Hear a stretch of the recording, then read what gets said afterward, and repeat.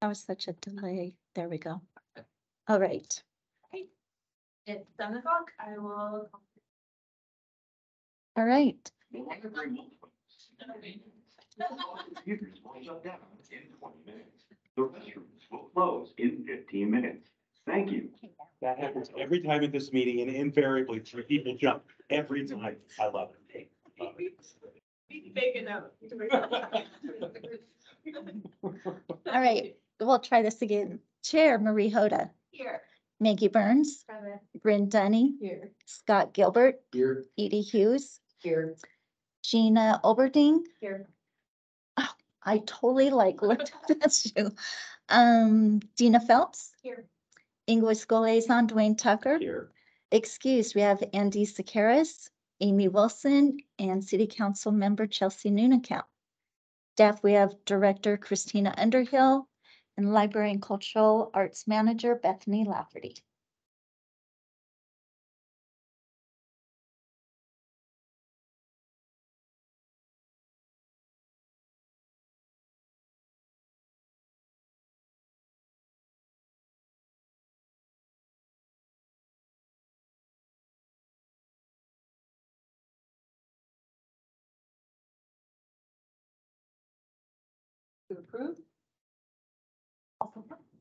Right, all in favor of approving the minute?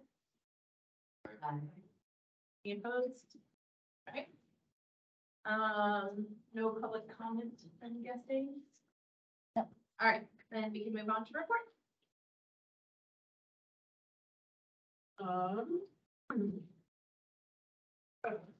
The statistical report, so as I've been trying to prepare you for. The total patrons and the Englewood patrons registered has um dropped significantly because we did delete um expired accounts. Uh, we've also been cleaning up a lot of duplicate accounts. Um, and then we were able to accurately divide patron records between true Englewood residents and those outside of Englewood. So the current um number of Englewood patrons with library cards is just over twelve thousand. And our total registered patrons is twenty, uh, seven sixty-eight. That is, that total is still a little inflated because we are continuing to um, review the duplicate accounts. Uh, the issue we discovered is that the online self-registration that is available does not prohibit an individual from signing up for multiple accounts. And what is ending up happening predominantly is people will sign up for an account, they get a temporary number, it's good for three months. When it expires, they sign up for another one. Then they sign up for another one three months after that.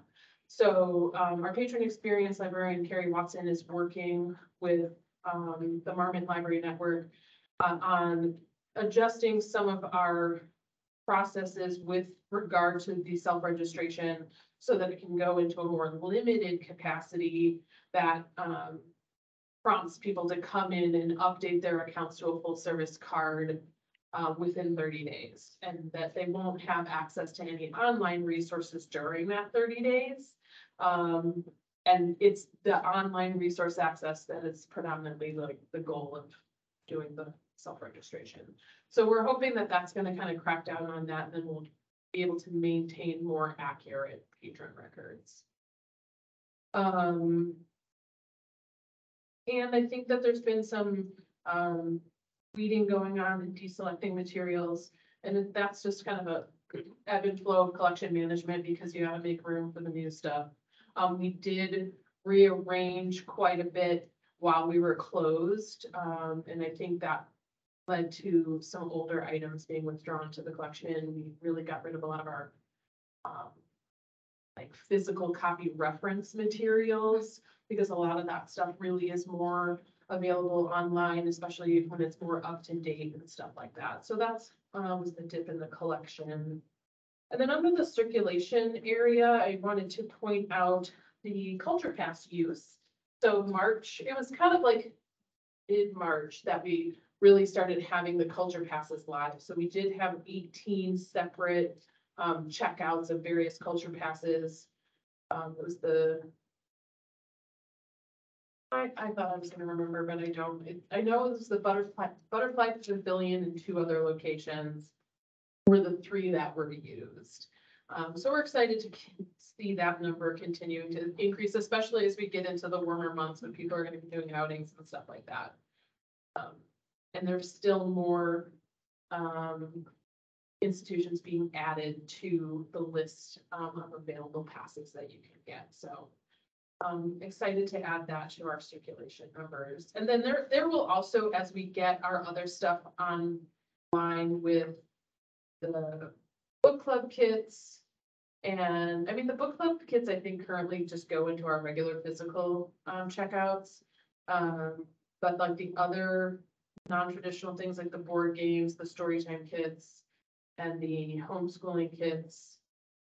Those will start, I'll start having that in there, probably with some kind of single category for like non-traditional or something like that. Um, so stay tuned for that. Um. Mhm.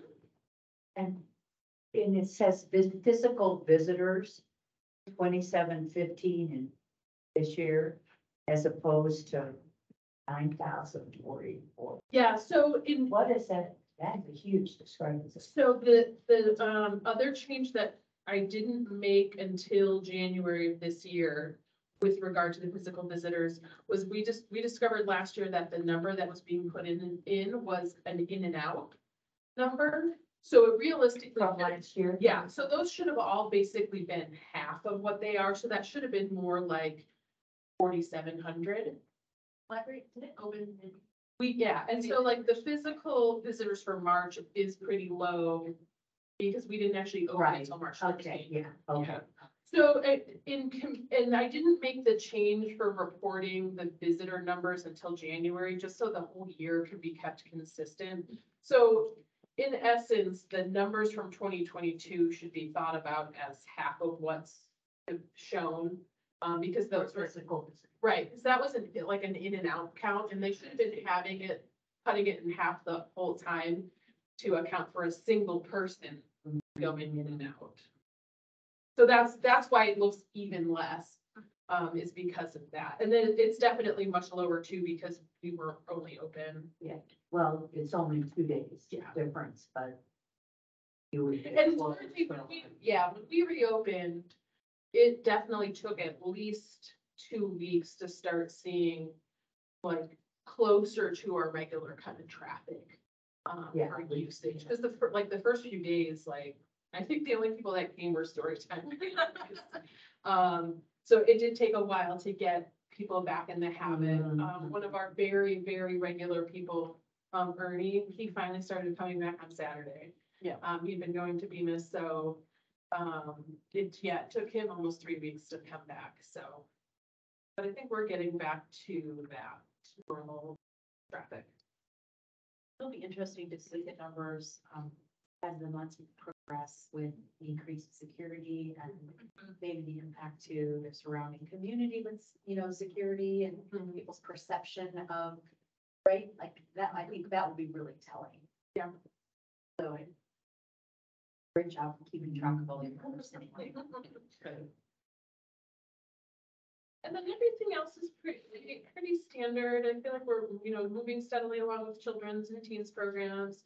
Um, adult programs were kind of, um, lower coming back to reopening, because we're still kind of re-evaluating what programs to offer for adults, because we really want to offer things people want to attend. Um, so there's been a few things that we're kind of cutting back that, you know, we've offered some, uh, computer classes that people just are not attending. So we're trying to kind of think about those differently and offer something different that's gonna be more attractive to people. Um, so the adult programs are a little bit. different. Um, we didn't have too many incidents for March. Um, there were two people excluded, um. One for drug use in the second floor bathroom that came down to the library and one for pornography viewing on public computers. Is the system alert? It wasn't, se- it was literally the second day. We are so excited for when that happens. Like, I don't know what we'll do exactly, but like, it's going. So it's the second day the bathrooms were open, but the fact that this individual was discovered in Yeah. the second floor bathrooms was one hundred percent because of the additional security. Because they were the ones that found him, and then he came downstairs and kind of snuck into the library, but they came and talked to TJ. TJ, and so like the whole thing was able to be taken care of.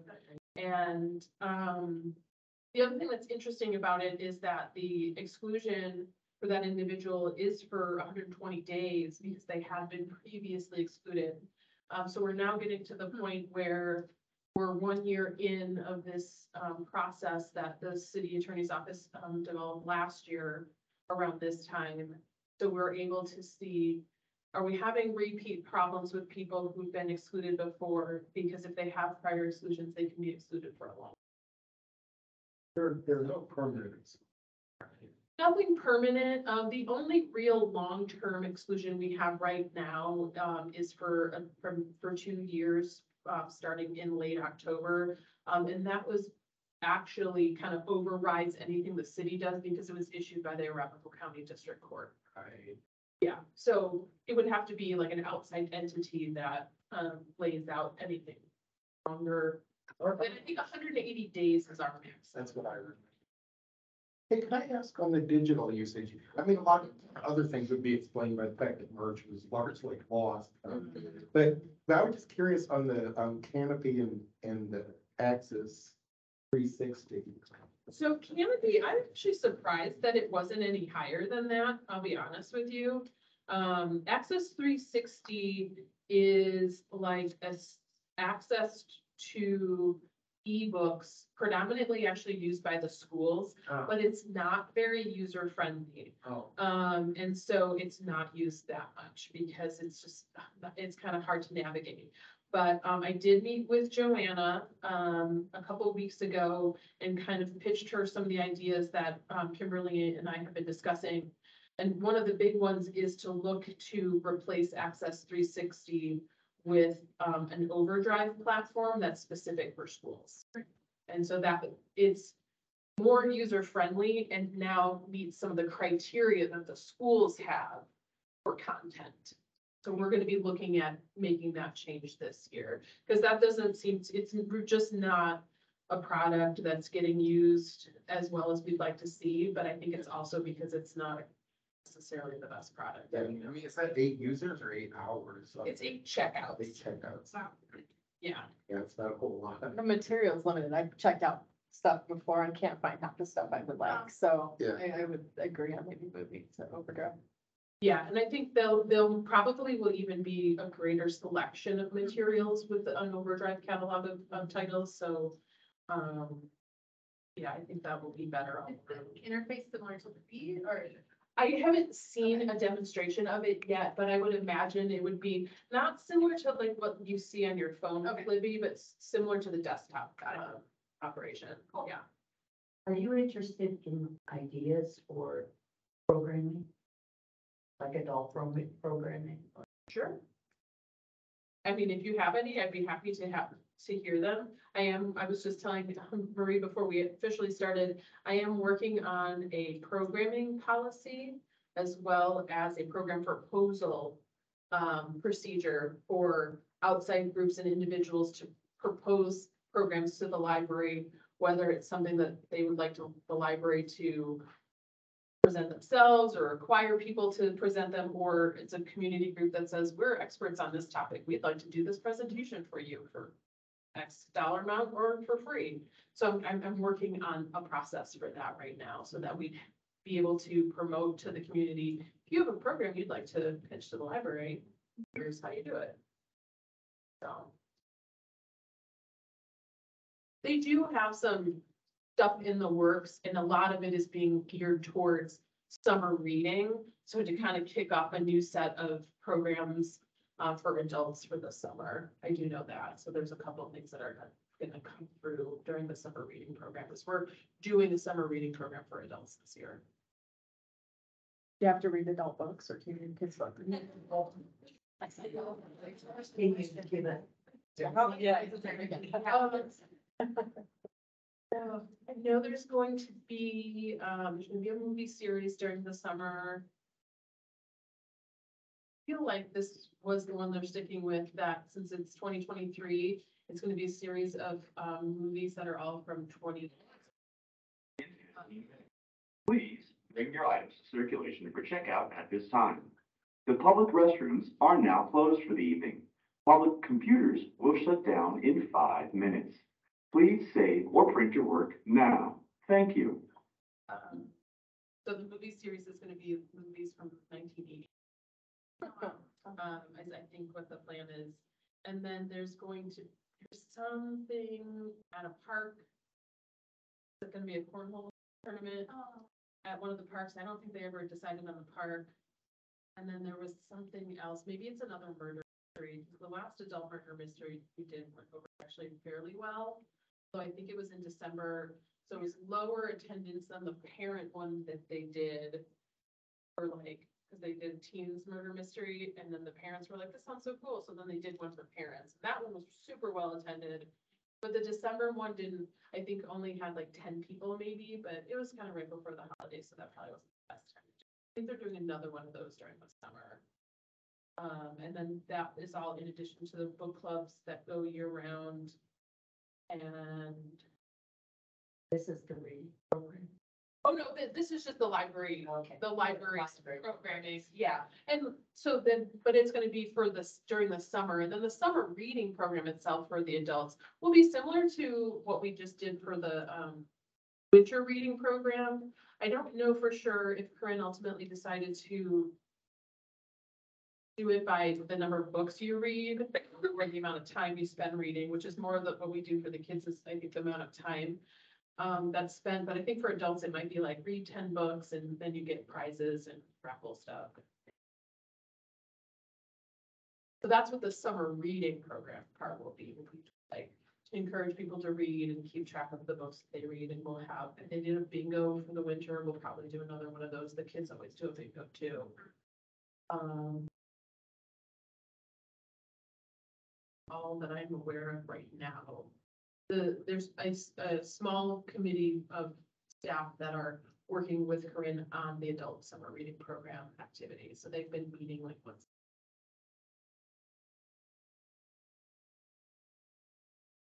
Any others? Okay, we move on to the action plan. Um, so this is the new official twenty twenty-three action plan, which is also now updated on the library's website. Um, so for the first item, the, the volunteer program, um, I had a staff meeting last month with, to discuss, um, creating a new volunteer application slash interest form. We're actually, we're calling it an interest form. Um, and we have our first draft of that ready and just need to do, um, some little tweaks for including logos and return information. Um, and then, um, we've confirmed some general areas for, um, where we will definitely have volunteer tasks. And the interest form has a space for a person to indicate, oh, I, I'd like to, you know, clean and shelf books, or I'd like to help with program prep. So they can kind of indicate the areas they're interested in. Um, and then the, but the actual tasks, we're still kind of fine tuning that as we, um, move forward. Um, we have our draft documents are, are gonna be uh, reviewed tomorrow and then finalized. And we will be working with communications to update the volunteer page on the library's website. Um, and then also have communications kind of help us promote that we're doing a call for, for volunteers at the library. Next week is, or I'm sorry, the week of April seventeenth is National Volunteer Week. So that Wednesday, we're gonna kind of have our call go out. And then, um, we'll just keep defining the volunteer tasks and developing a training process. And our plan is to do a monthly volunteer orientation. And so the first one will be Friday, May twenty-sixth, and then going forward, it'll be the last Friday every month. If we have new volunteers that turn in interest forms, we will schedule them for their orientation that day and then establish whatever their schedule will be. volunteering. So, Is that, is that the Memorial Day Friday? Same place this- Mhm. Yeah. We'll see how committed. Yeah, I was kind of thinking that. Yeah. Um, yeah, and we don't, yeah, 'cause we have, we don't have any staff off, that's why everyone's like, let's do it the last Friday of the month, because we have so few. Yeah. Meetings at the end of the month is what we were looking for, so I guess we'll just see how much response we get. and Hopefully people will be available, and if they're not, we'll we'll schedule it, but thanks for pointing that out. You always do, right? Um. But yeah, so we have, um, Hannah, our new, one of our new librarian ones, she is going to coordinate the volunteer program. Um, and Carrie and myself and Hannah are working on all the details to get everything up and running, and then she will kind of be the coordinator of, uh, planning tasks, scheduling volunteers. All stuff in the library, so we're really excited to get moving on that. Um, the cultural arts passes, so that, this is like almost complete, but, um, we currently have eight institutions now live on the library website that you can reserve culture passes for. Um, and then we have at least two, but maybe even three more that are in the works right now, because we're just in various stages of completing the contracts and purchasing the memberships and getting, um, the details that we need to put on our site. And then promotional materials have been created by communications, and so far we've put um something in the summer rep guide, there's gonna be a little blurb. Um, and we do have something in our internal uh monthly newsletter um to promote it to staff, and then the. Week of the twenty-third is National Library Week, and that's when we'll be like fully promoting that kind of out to the community. Um, more strongly with social media and email, stuff like that. So we're excited about that, because we were hoping we'd have all of our stuff by the end of April, but I'm not sure if they will be, those last few will be up there or not, but we're pretty close to getting those done. Um, and then we'll be moving on to the other parts of the non-traditional items as, after we really launch the culture patches and passes, so. Excited about that. Um, the next item, partnership with Englewood Schools. Um, I met with, uh, Joanna Polson a couple weeks ago. Oh, yeah, March thirty-first. I was like, oh, exactly when it was. Um, and we discussed some different ideas that we both have about working together. Um, and so one of the things, like I said before, was, um, I think I mentioned this last month that we wanted to do the email or the library card like automatic library card for all Englewood students with their student IDs. So we'll be working with Marmot to figure that out. And Kimberly and I recently had a discussion. And she said right before COVID, this was like in the works, but then kind of COVID just derailed everybody's attention. And so it kind of fell by the wayside. Um, so she was, you know, reassuring me that Marmot has done this with other libraries and they knew that we wanted to do it, so it'll just kind of be picking up the thread where it got left off, so. Um, we'll see what we have to do with that, and then, you know, Joanna will help me coordinate with the IT staff at the schools. To figure out how we'll kind of keep things updated for student access. Um, and so I've worked, you know, sent a request to Marmot to see if we can plan a, a meeting to discuss the details and what we, what kind of things we would need. And then the next part of those will be, um, like I mentioned before about Axis three sixty, changing over to Overdrive. Um, Kimberly and I will be researching that over the summer, and hopefully that will be put into place before the school year ends. Um, staff development, all the new positions have been filled, but now two of them are gonna be vacant, so. We have two, yes. Um, we had one of our part-timers from last year resigned right before we reopened. She had sort of like, a kind of a once in a lifetime opportunity to go do some thing in Mexico. So she's like got a job in Mexico. I don't, I can't remember exactly what she's doing. Um, and then one of our recent new hires just has had some personal like issues that are being complicated by her, you know, being at work. Um, and it's just not working out for her to be here, so, um, next week there will be interviews to fill those two positions. Back down a little bit. Um, but it's still a lot better. And the, the newest hires that started on March twenty-third are acclimating really well. Um, and The the, library will close in five minutes. Please finish your work and head towards the exit. Thank you for visiting. uh, March thirteenth are doing great.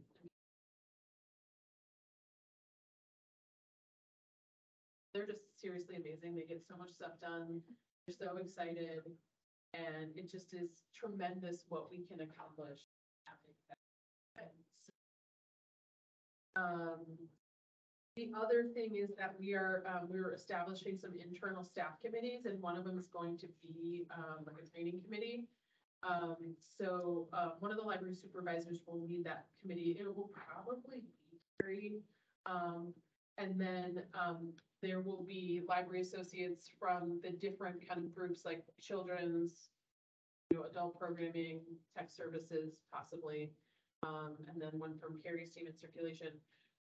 So that we have people who are kind of giving different perspectives on what new staff need to learn. And then also volunteering to be a staff person that the new hire can shadow. Because some people aren't comfortable providing training and instruction, um, or they just, you know, they know what they need to know, but they're not really comfortable imparting their knowledge on somebody else. And we have found that like forcing people to do that doesn't really um, yield good results. So having people who are interested in doing that, and willing to do it, is gonna be a lot better. So that's what that committee will be about. Um, and then our first staff in service will be in June. Already making some plans for doing some stuff for that, stuff for that. Um, and that will be sort of like a half training, half project. Then the last part is, um, the library marketing. So Carrie Watson and Corinne Barnett, um, are, I think that they just concluded it last week and, or it might be this Thursday. They've been doing a library marketing series through Library Journal online, and so they're wrapping up that training. Um, and they've already been utilizing some of the things they've learned through the training in their, um, daily work and how they are organizing current projects. Um, and then communications, I've been working a lot with them on promoting stuff for the library, which I think has been really great. They really helped promote the art exhibit, and I was a little nervous, but at a certain point, like, they just started pouring in all the artists that were interested in exhibiting, so it's really great. Having artists for, that have their work up. So, great. Yeah, and then, yeah, our upcoming like promotions with them are the culture passes. Um, there's a whole plan for the library art exhibits through the year. Um, and then the, the volunteer stuff. Yeah. Any questions? On any of those items?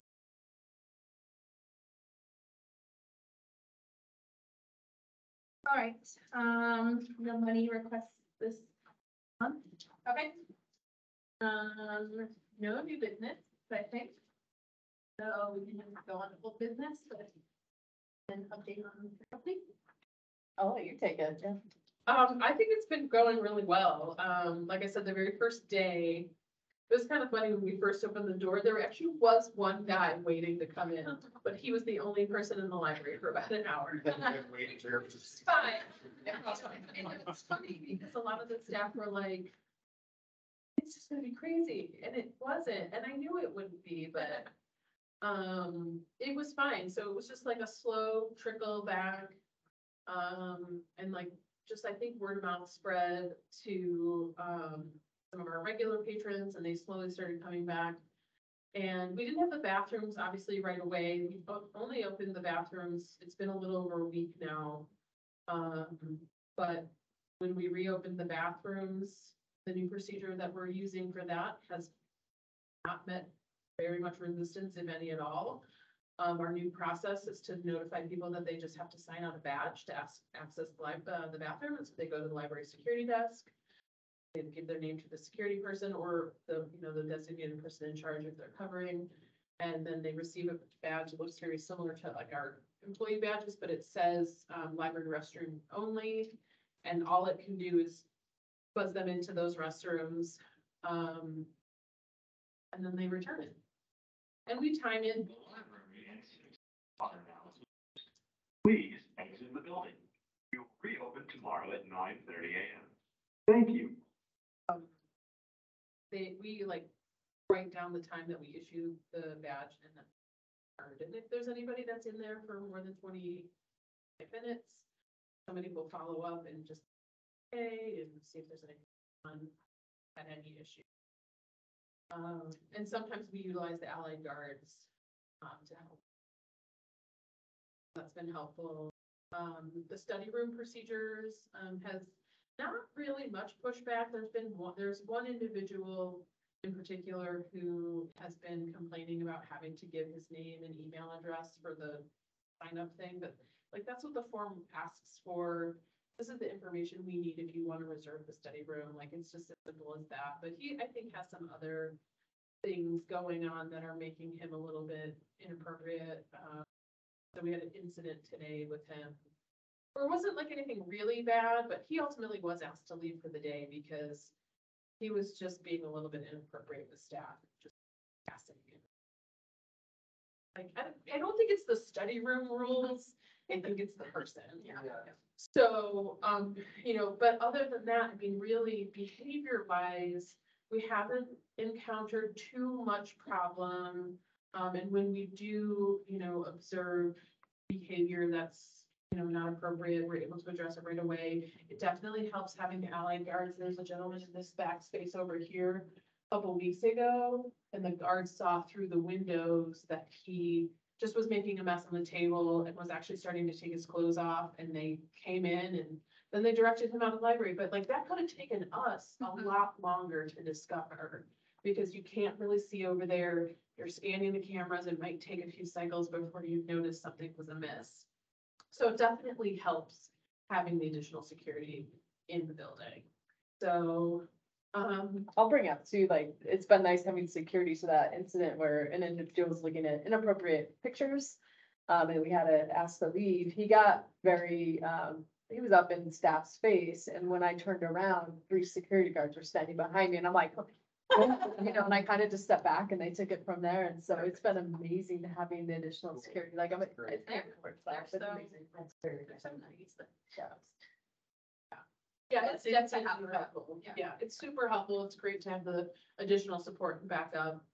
Um, a couple of bumps here and there is they're kind of learning the procedures and rules for the civic center and the city overall for the standards of behavior, but um, we do have a weekly meeting with the, uh, security uh, supervisor and myself, um, and then one of our library, um, security staff, depending on who's working that day. Um, so that way we're keeping our communication up to date and stuff like that, so. Has it been a consistent team? Getting better.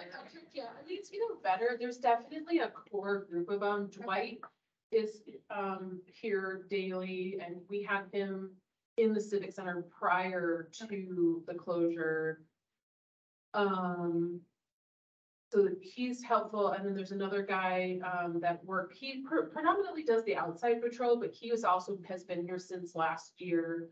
Um, so he has a familiarity with the library staff and then just kind of the processes and procedures, so that's helpful. And then all the new people in between, um, have been really, you know, great and communicative and they'll ask us questions and TJ's been making a point of going out and talking to all of them, introducing them. There is a site supervisor as well who is staffed in the court. Okay. Um, so we're able to talk with her also about training issues so that we can, you know, give feedback to her and then she can push it out to the, to the guards and that's really helpful. So she joined our weekly meeting this last Friday too.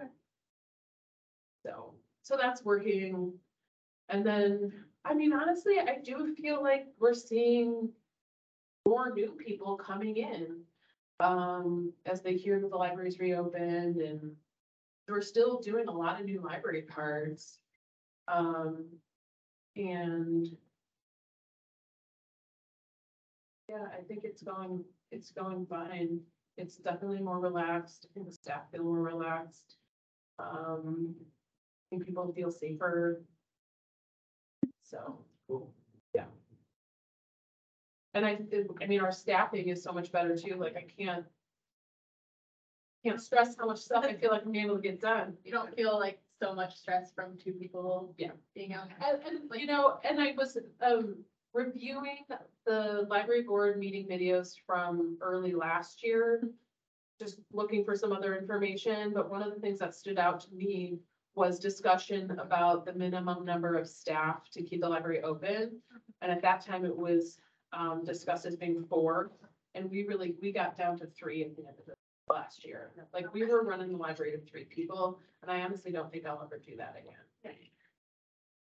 Yeah, three, three is not enough. Four is really not enough either, but, um, I feel like, cause we were, we had a couple of times where we only had two staff and we had to close. But I think if we're only gonna have three, mm-hmm. they might have to, I think that's gotta be our cutoff, is if there's not at least four people. We are not in a position to properly and safely run the library. So that, when I saw, when I heard that from last year, 'cause I think that was discussed in January 2020's mm-hmm. meeting, and I was like, that's really telling, because like, We were in dire straits. in Yeah. January, too. Yeah. Yeah. That's when we heard about the mask coming down and being spat. Yeah, it was rough. It was not- Yeah, Someone pulled their mask down and like. Yeah. Or So- so we need to get their test results. I, yeah, so otherwise, I think, I mean, it feels really, it, it feels so much better to have the amount of staff that we have. Like on Saturdays, we usually have five or six people here, which honestly, the day that we generally had three people last year was on Saturdays, and I was always one of the three. Yeah. Um, so it was really, really tough, but it's so much more comfortable knowing you have enough staff, so that's making a huge difference. Um, And you're able to take a meeting. Yeah, plan on it. Right. Yeah, exactly, and I cleaned all the boxes out of my office finally, should have been in there for months. And even got my new office chairs. Yeah, so that- I think, I don't know if you have anything else, Christina, about the reopening, but. No, it's felt good in here, like she said, like, it's nice to walk through, it feels controlled. Mhm. You know, it's before, it was kind of like, what are you gonna find? Yeah. When you walk through. And people have really like, um, you know, said thank you for, you know, getting back open and they like the new setup we have with the security desk right at the Yeah. door. Um, we've had some questions about the other door being closed, but no real pushback. You know, we've had some questions about how can people who need more accessibility, um, get over. And so now that the north lobby is open, it does allow for people to use the elevator to go up and over instead of having to walk around the outside of the building. So that's better. Um, but I think overall, people understand and appreciate the effort to create a more, you know, safe and controlled environment. Uh, we also rearranged a lot of the furniture, um, to kind of influence, you know, behavior because the seating is more out in the open. We've closed off several outlets that were in little nooks and stuff like that, that people would sit on the floor to use, and we're like, we can't sit on the floor, you need to be in furniture, so we just covered up the outlets to reduce that type of, uh, thing happening as well. So like, just changing the physical environment does change how people behave. The north uh, lobby and the north elevator, are they available anytime the library is open? They are open during regular business hours for the city. Um, So not. So it's like Monday through Friday, like eight to five, basically. Um, however, currently, the locking mechanism for the lower level doors are jo- is like on a joint system. Mhm. So if the south lobby is unlocked, the north lobby will be unlocked. Um, so they, I'm thinking like if somebody is, uh, you know, um, like, let's say I'm outside here at six P M on a weekday or something. Can they come in the north door, do technically, this, yes. yeah, do the up and over? Technically can, um, but the facilities department does have a request into the company that, um, runs their automation Mhm. for locking the doors. And they're going to be separating each set of doors, so the second floor south, first floor south, and first floor north will all have their own kind of functionality, so they can be unlocked independent of the others. So are we heading into like, w- once that's done, will any, uh, after hours entry to the library have to be done through the south here? Yeah, everything will always have to be coming through the south lobby and this entrance. Nothing will come through the other side. Okay. Right, and so like, once they fixed that functionality for the locking doors, Right. um. On Saturdays, the only entry point, Saturdays and Sundays, the only entry point into the civic center will be at the lower level south lobby. Right. Unless there is an event happening on the second floor. Um, but even then, it will probably be the second floor. South. Entrance will be unlocked for people to go in right there. Cause the north lobby will still remain locked and you won't be able to access the second floor from the lower level by stairs, but possibly by the elevators. Only, I don't know, we haven't worked out that detail, but. Or there's, it's like baby steps to securing all these different Sure. spaces, but like ideally, the goal is to get to a point where. The only accessible place in this building will be the south lobby and the lobby, the library on the weekends. Okay, so like for amphitheater events and stuff, people, if people were at an event out here, wanted to visit the library, they'd have to come through. They'd have to come through the south side. I have to say behavior has changed tremendously for the better with the north side being closed.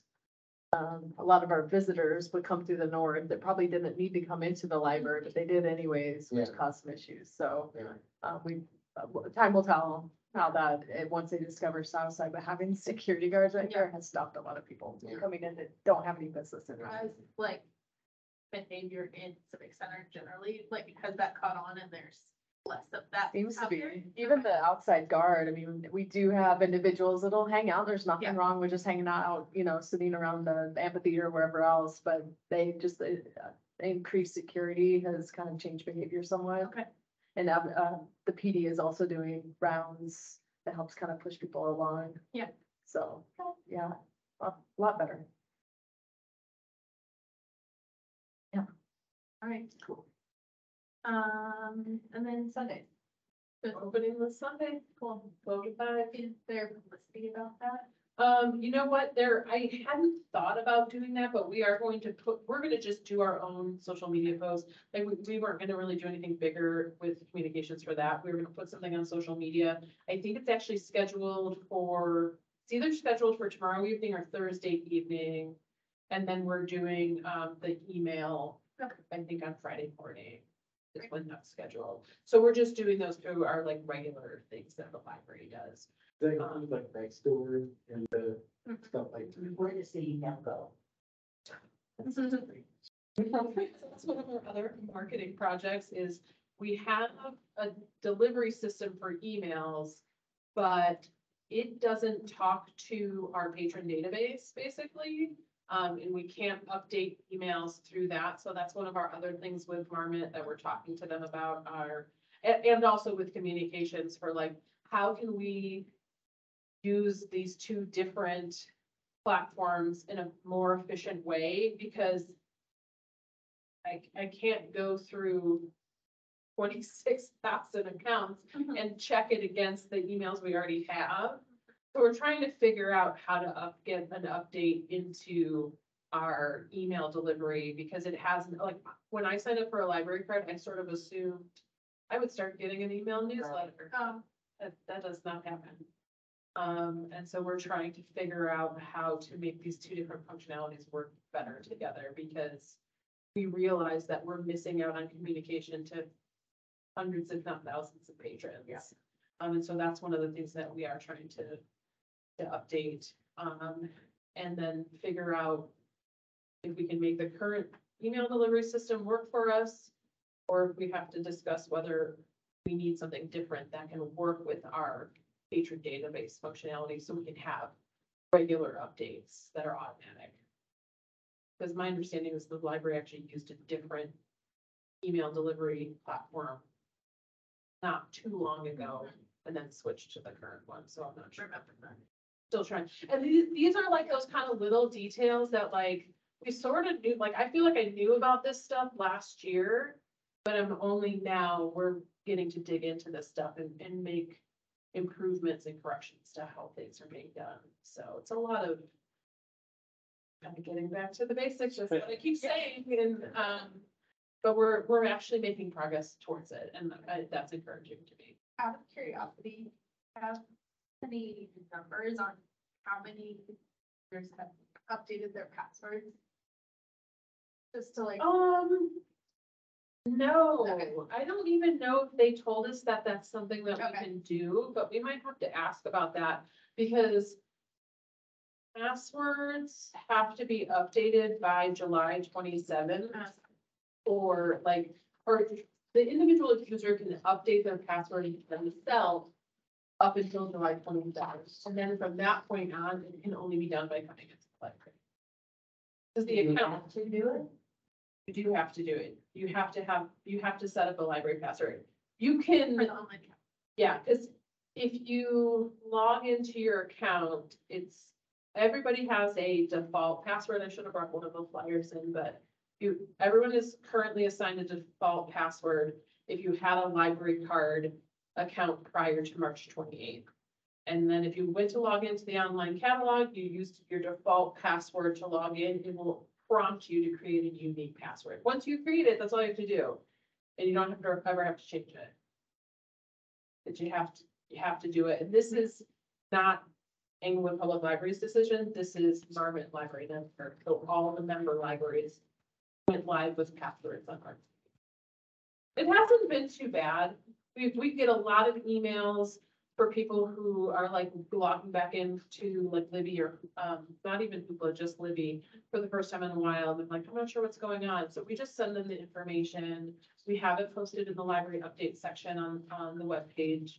That was one thing that got added during the closure. There was like a library restroom closure, something or other, and I had communications change the title of it till just library updates. So now we're adding other updates in there, and that's where our instructions are for doing the passwords. I think that's a really like, helpful place to put information, and I was wondering if you could, do that, like, like, I was wondering if that was useful to other people, and if you could use that to like.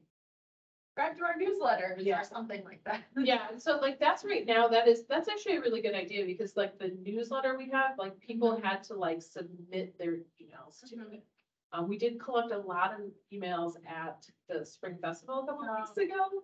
So. Corinne, Corinne was adding those in. I can't remember exactly how many emails she said she had, but there, they did a raffle. Yeah.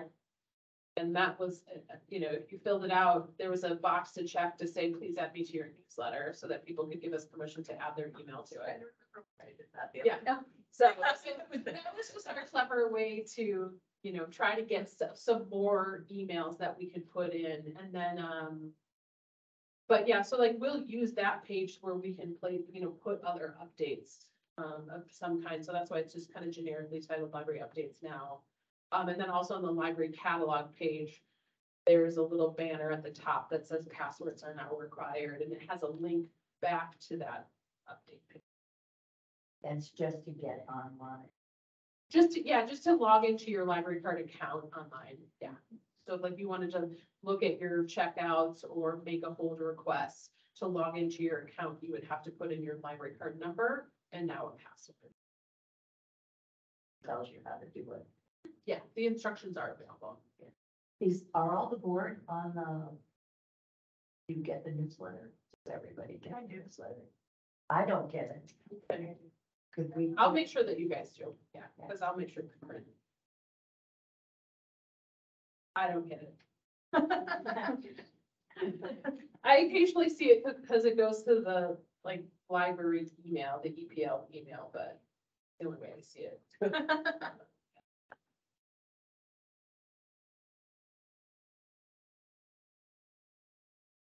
But yeah, so that's the long version of what we're doing to Yeah. announce that we're opening on some things. And I think Carrie was working on little order sheets. along the What, are the social media channels where we announced or? Instagram and uh Facebook. Yeah, I don't know about using Nextdoor. I don't know if the libraries. City channel next door. I see city announcements. Uh, Yeah, and I don't know if there's one for the library. don't If, there was, it didn't get passed along. I know that Michelle used her personal next door to push stuff out. I feel like there was a rule about city not being able to have it. Well, no, correct? they can, Oh, is it- but okay. they, it's, there's some limit on response, or there's some weird thing like that, but the city has a next door. Okay. So I don't know, I haven't really, we, we haven't used it in the library. Yeah.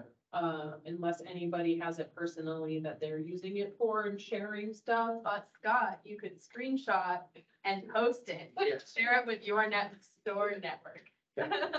That's, Yeah, it is, can't be something nice for a change. Yeah. instead I hate everybody. Yeah. Yeah. Yeah. do it. Anything else?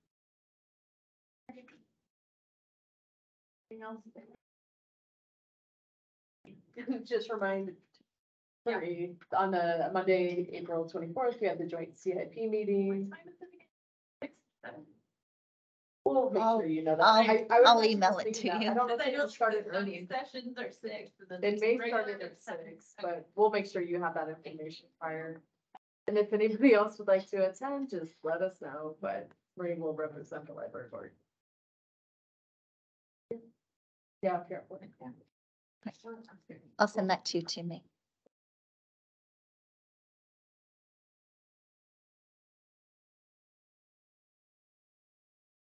The only announcement I have is Celebrate Englewood will be before the next board meeting on May sixth from ten to two right out here at the Oh, they touch it truck. Yeah, Yeah. touch a truck, so nine forty-five is the Oh. sensory, sensory portion of it, Cool. so we'll have quiet time, so any, any kids or adults that wanna come by, um, while it's quiet and see the trucks and Nine forty-five. How long does the sensory portion? till ten fifteen.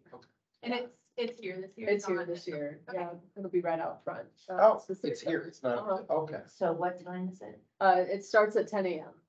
Ten to This two. is the board meeting? No, no, no, this is Celebrate Englewood, it's an event coming up on May sixth. Board meetings will stay the same time, same thing.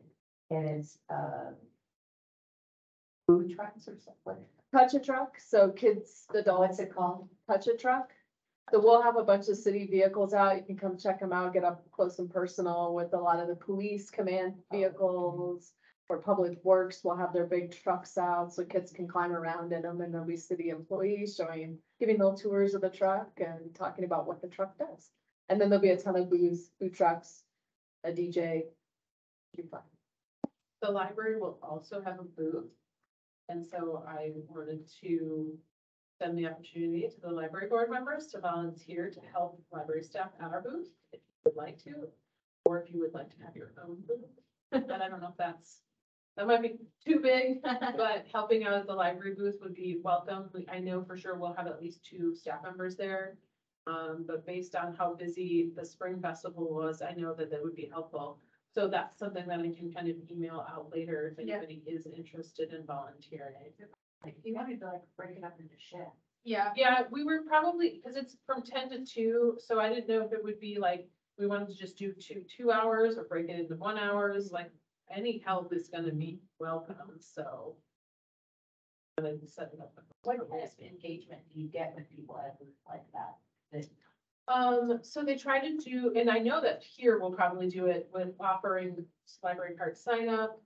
Um, and, um, just talking about programs, telling people about the library. A lot of, uh, families come to these types of events. That's why Kimberly always goes. And so she just is kind of catching up with people. Um, and then it's just another opportunity for us to promote some of the services and programs that we're offering. And just kind of talking about the library in general. sign up for their newsletter. yeah. Yeah. Yeah. Yes. I mean, you know, the QR code is the thing. Yeah. too. So if there's anything you need, want people to sign up for, respond to or whatever, I don't know. if library has a QR code. Or you wanna put it on something, it seems like Yeah. that's such a wonderful.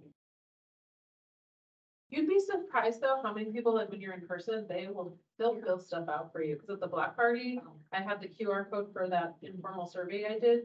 Most people wanted to just fill out the Yeah. paper and then talk to me while they did it. Yeah. Okay. Which is interesting. Some people will take it, Yeah. but it, it is interesting how many people are willing to, you know, and want to just talk to you. Yeah, so, Shirley is also coming to the Clinton Carnival the following Saturday, and she said she'd be okay, but I think you're better. I think it's eleven to two, but, oh, I'm not remember what the percentage is, but yeah. Yeah. So.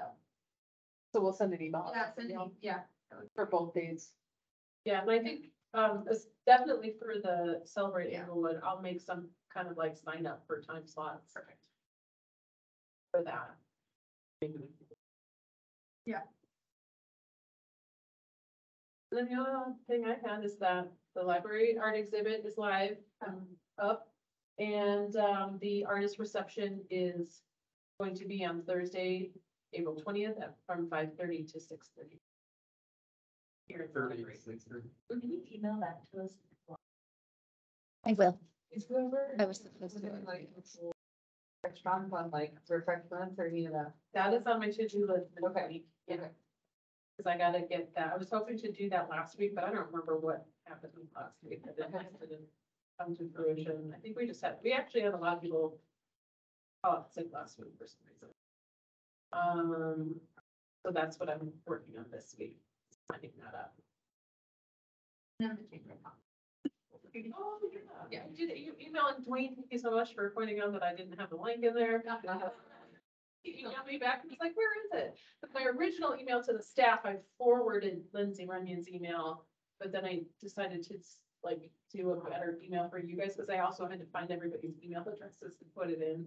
Um, but yeah, so the, um, Englewood, um, Chamber of Commerce has an annual business awards. And the library has been nominated for the Innovation and Sustainability Award, so. Um, I did, um, do a second email that has that information and the link in there. Not that I told you this, but if you do it from different browsers, you can vote.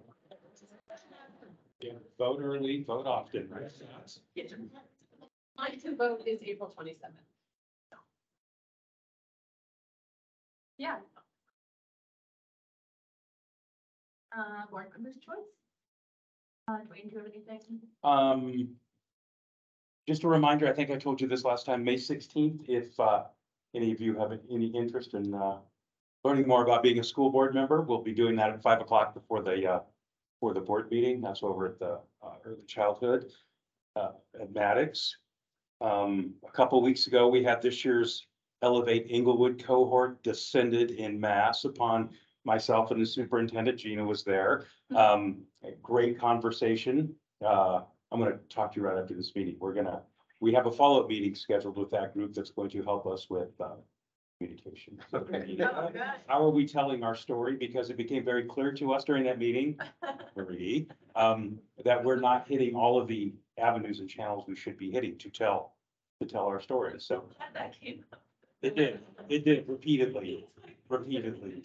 Yes, and it occupied a good part of the discussion, but, um, so I'm gonna talk to you after this meeting for that. Um, I don't know if you all know, if you, um, uh, if you have kids in the district, you certainly saw, we had a swatting incident at the, uh, tech campus where the high school and the middle schools are at several weeks ago. Um, pretty horrifying. My kids texting me from a closet. They're, they're on lockdown. However, all of the training and everything was, uh, in full effect and they had that entire campus locked down in under two minutes. So that at least was good. Fortunately, it was a swatting incident. It wasn't a real, real event, but, um, scary What's nonetheless. a squatting? It's a, uh, sort of a fake call comes into the police department or to the school saying that they're, uh, this particular one said, I'm standing outside your school and I'm gonna start shooting, and they had gunfire noises and people screaming on the voicemail and stuff. And they did it to several schools that day, probably, I think, ten or eleven schools, and they hit a few more the next day too. So it wa- it was a, it was sort of a prank school shooting, uh, phone call. That's what swatting. Yes, It, it Yes. means like, because you'll, you'll get SWAT people. right, That's before, right.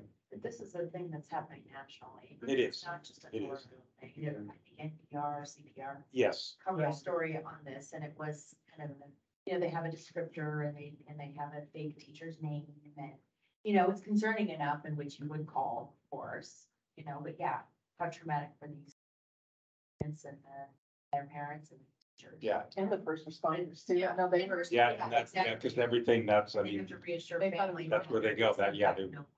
Yeah, Yeah. EPD, they were there within minutes, so, It's just a- yes, unfortunately. Unfortunately, but Can also they trace fortunately, it? like, Can they trace it? It's, Can they- they have figured out a way that it's almost untraceable. Well, there are ways to do like, like phone protocols where you can bounce a call twenty times or more. Oh. So as far as, we, we've not heard that they've tracked that person or those persons down yet, so I don't know. Probably never, probably never will, but anyway.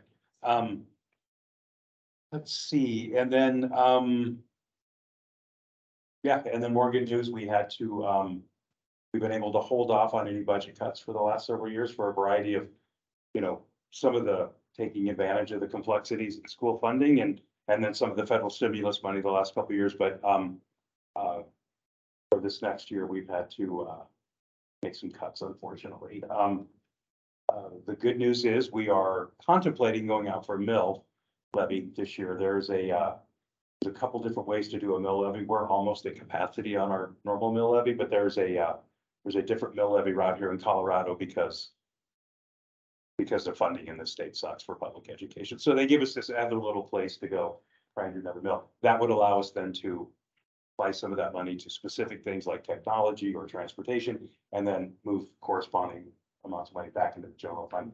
If it, if it goes out, it will hit the November ballot. It will be, uh, then go into effect in January. So, um, the budget cycle this year was a little painful and, um, How much did you cut? How much was cut? Uh, about fifteen percent across the board, which in a district this small is draconian. I mean, our entire budget is 32, 33 million dollars a year. And ninety-five percent of that is people in a school district, obviously.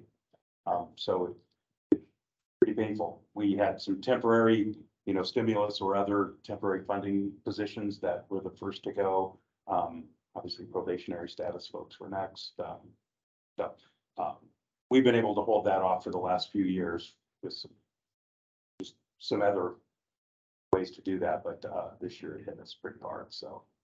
How are other schools, school systems like in Denver cutting or Yeah, oh, yeah, and, uh, everybody is and a lot of districts, a all of our neighboring districts are closing schools as well. closing schools. They're schools? just shutting them down, yeah. So, uh, Littleton is, Cherry Creek is, um, Douglas County, Jeffco is shutting down schools, so, um, we're not at that point, so that's, that's a good thing. But fifteen percent in a district this small, I don't, in a budget that small is, The schools are gonna be looking for volunteers to help them. Yeah. okay? Yeah. I'm Putting that up at Clayton, so. anyone- yes, there will be ample volunteer opportunity. Yeah. uh, At our school starting in the fall, so if any of you are interested. Mill levies are for operating expenses. Correct, bond issues are for physical capital and then mill levies are for basically inside the building. Keep the lights on. Mhm. Yep. Good luck. Englewood's never turned down bond or mill. Pretty amazing. We, we've been pretty fortunate. I got to chair the twenty eleven and the twenty sixteen bond. Twenty The eleven, twenty eleven passed by what, like a half a vote, remember that? the bed that night thinking I it know. lost. And then, Woke up in the and morning. it took us, yeah, several days for that one, but, uh, so keep your eye on that. If any of you want to come walk the neighborhood and send, hand out flyers, uh, late summer, early fall, um, um, we'll have opportunity. How are you, uh, uh, heading up your volunteer? Group to try to, If we decide, so the board will have to vote to, to actually do this, and, um, sorry, I don't mean to take up your whole meeting, but I'll just talk all night.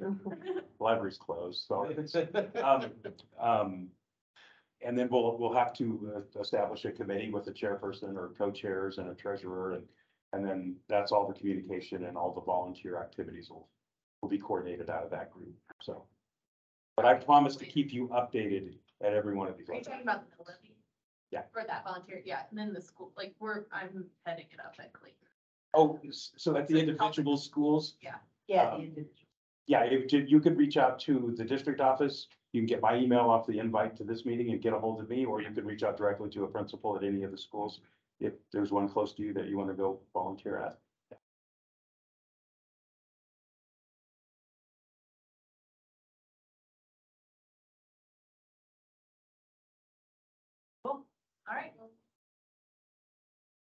Oh four, well, adjourned. Record time.